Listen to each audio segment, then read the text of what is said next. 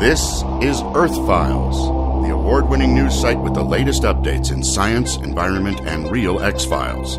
Podcasting in depth reports beyond the 6 o'clock news by Emmy Award winning journalist Linda Moulton Howe.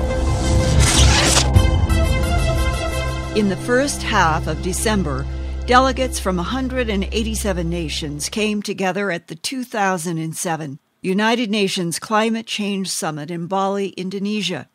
Their goal was to come up with a globally acceptable agreement to cut back greenhouse gas emissions, which would replace the Kyoto Protocol that expires in 2012.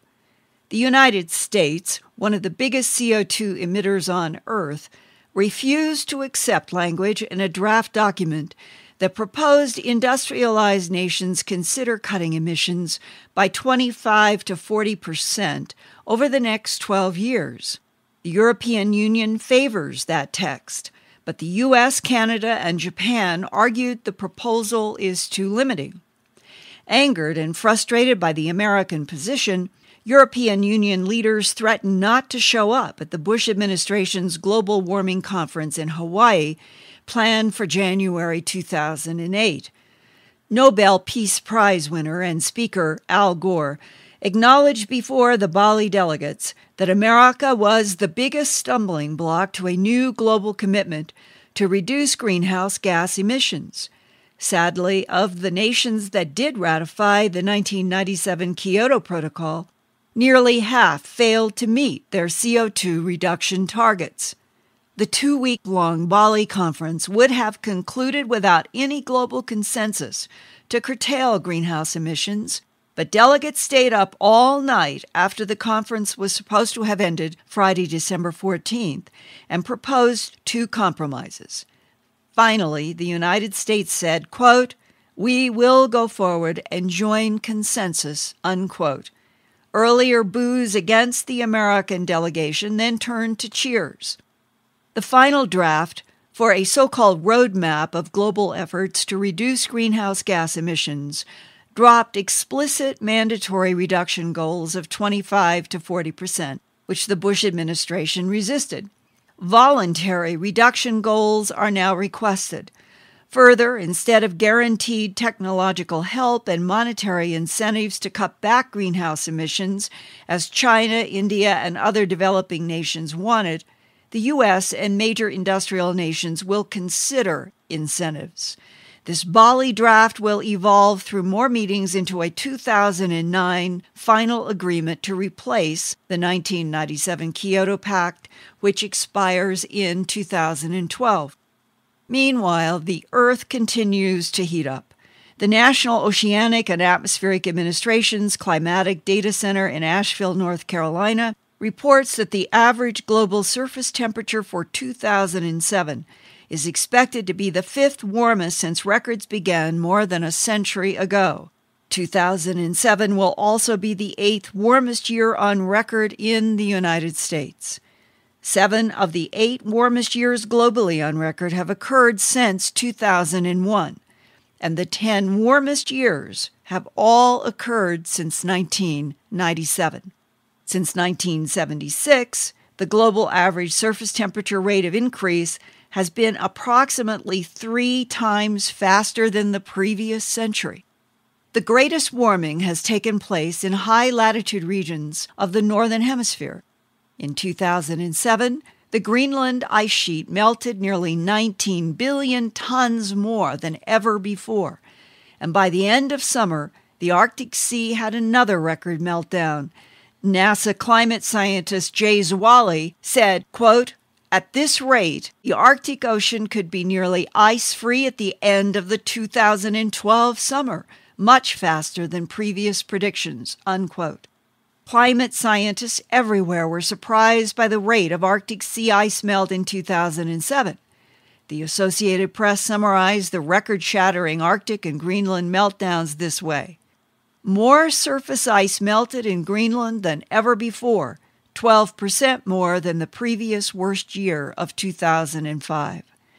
552 billion tons of ice melted, according to satellite data, and that's 15% more than the annual average Arctic summer melts have ever been. Arctic sea ice melted away to nearly 23% below the previous record melt, opening up the Northwest Passage to ships. That forced 6,000 walruses to come ashore in northwest Alaska in October for the first time in recorded history. The remaining Arctic sea ice was also the thinnest on record. Combining the shrinking sea ice with such thin ice means the overall volume of Arctic sea ice was only half of what it was only three years ago in 2004.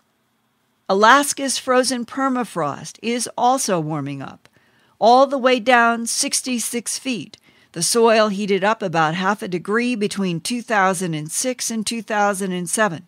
As permafrost warms and melts, methane will be released into the atmosphere, adding to the greenhouse blanket around the Earth.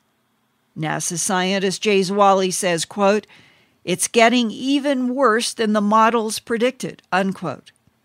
And now, in the December 14th, 2007 issue of the journal Science, chemical oceanographers report that carbon emissions from human activities are not only heating up our planet, but the ocean chemistry is changing so much that if the CO2 buildup continues at the current rate, by the year 2050, no coral reefs will be alive.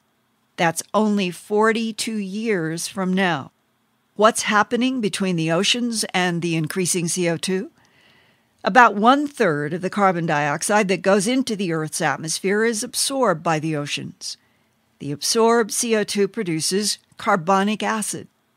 Unfortunately, carbonic acid dissolves away the skeletons of planktons, shellfish, and coral reefs. Why? Because the skeletons are made from carbonate minerals such as aragonite in seawater that are being greatly reduced by the increasing CO2 production of carbonic acid.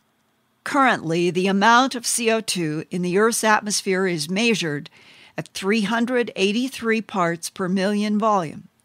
By the middle of this 21st century, that number could double to 766 parts per million volume. More conservative estimates are 550 parts per million volume by the year 2050.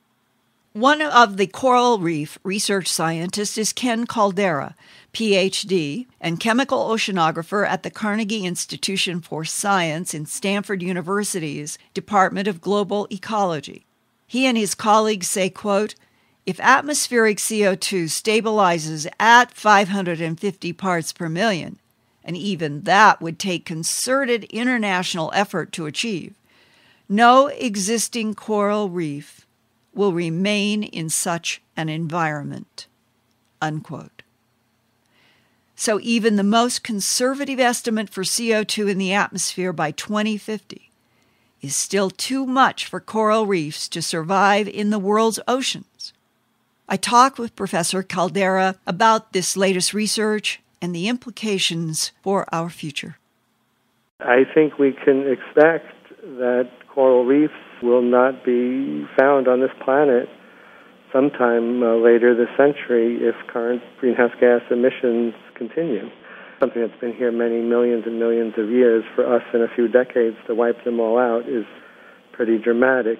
Also, there are tiny marine organisms that live on the surface of the ocean Plankton? The plankton that make their skeletons out of calcium carbonate. So it's really imperative if we want to preserve our marine environment that we really have to bring down CO2 emissions very rapidly. And according to the Carnegie release, the projection is that by 2050, which is only 42 years from right now, that the atmospheric CO2 level is projected to be 550 parts per million, which is the focus of your study, meaning 42 years, and the conditions in the oceans could be such that no coral reefs could survive? Yes, uh, I think that is correct. The last time that similar conditions are known to have existed in the ocean is uh, 65 million years ago after the dinosaurs became extinct. There was an ocean acidification event, and corals and plankton that make their shells out of calcium carbonate disappeared from the geologic record. And it took about 2 million years for corals to come back and repopulate the coasts and be common once again. And so it's entirely likely that as a result of our policy decisions over the next decades that we will be affecting the life in the oceans for millions of years to come. Our model suggests that the chemical recovery of the ocean will occur over some tens of thousands of years, which is plenty long enough, but the biological recovery timescales seem to be much longer. And that's provided that humanity and its industrial civilizations would pull back on CO2 and other greenhouse gas emissions. Yeah, say a doubling of pre industrial CO2 levels to something like 550 or 560. From a climate point of view, some people look at that as a goal and a, an acceptable target. But from the point of view of oceans, it will produce ocean chemical conditions that have not been seen for many tens of millions of years which is much longer than the amount of time the average species has been around. So we'll be producing ocean chemical conditions that the species that now live in the ocean have never experienced. And will they be able to adapt to it? Maybe. Will they not? We don't really know how ecosystems will respond. But the acidification is getting worse and worse and worse. And uh, eventually, even if we do everything right on the other kind of management practices, the acidification alone will be enough to kill off the coral reefs.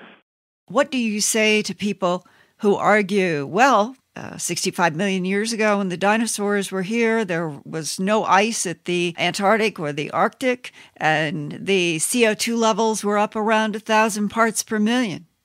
When the dinosaurs were around 65 or 100 million years ago, it's thought that volcanoes were putting out carbon dioxide about twice what they are today. But our carbon dioxide emissions from burning of coal, oil, and gas are around 50 times the amount of carbon dioxide coming out of volcanoes. And if we were only doubling the natural CO2 fluxes, then the chemistry of the ocean would be able to deal with that and adapt to it. But when we're putting out carbon dioxide 50 times faster than natural sources, it just overwhelms the ocean's natural ability to buffer its chemistry. And so we're just doing, we're putting in the CO2 way, way too fast for the ocean to be able to deal with it. So the rapidity of this is what separates right now the 20th to the 21st centuries from, say, 65 million years ago and back in the time of the dinosaurs. Yeah, even if you go back to the ice ages, we all see these figures where the CO2 is going up and down with the ice ages. But right now, the rate of increase of carbon dioxide in the atmosphere is about 100 times faster than the increase in CO2 at the end of the last ice age. So uh, our CO2, the change in atmospheric CO2 is extremely unusual, even when viewed from a geologic perspective. You have to go back. I mean, the argument among geologists is you have to go back 55 million years or 65 million years to find a similar event.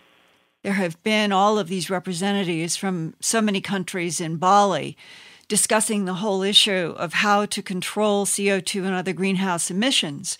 And right now, it's clear that the United States and China do not want to sign pacts having to do with restricting CO2 emissions to certain standards that other parts of the world are saying, let's do this together if China and the United States, the two biggest emitters of greenhouse gases, do not agree to reduce greenhouse gas emissions, what do you think the worst case is for, say, the year 2050, only 42 years from now? We did a calculation for how fast ecosystems would have to move to keep up with climate change this century, and ecosystems would need to move about 10 meters a day. It's about 30 feet a day just to keep up with the temperature bands as they move towards the poles. And, you know, just things like oak trees cannot move 30 feet a day. Maybe wind-borne weeds can move at those kind of rates. What we're doing to this planet is extremely unusual, even when viewed from a geologic perspective. It's not like this is the kind of thing that's happened to the planet many times. I mean, what we're doing is well outside the bounds of normal climate or chemical variability in the ocean. When you change the environment very quickly, you just need one link in that chain not to be able to make it, not to survive, and then that whole uh, system falls apart. And The further sort of nightmare scenarios have to do with collapsing ice sheets and then methane being released from permafrost and the as it melts in the Siberia and you know there's no end to uh, what could possibly go wrong scenarios. And that this could be the last generation to have known the Earth as it has been, say, for the last 5,000 years? Yeah, or you could even say coral reefs have been on this planet since uh, pretty much continuously for the last, say, 63 million years. The reefs were around. And so, you know, what we're doing, they've been around for our entire evolutionary history. And so for us, in this blink of an eye, to be destroying what we co evolved with over so many years, is really dramatic. And tragic. And tragic.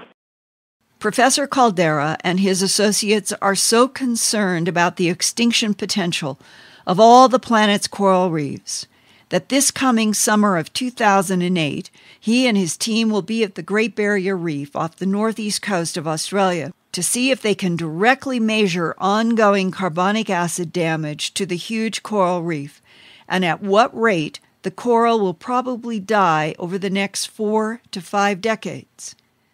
Beyond coral reef extinctions and the marine life that might die off as a consequence of losing those ocean houses, Dr. Caldeira told me, quote, I guess my nightmare scenario for humans is what would happen as climate changes, rainfall patterns shift, and the places we now rely upon for growing food are no longer able to sustain the kind of population we have on Earth.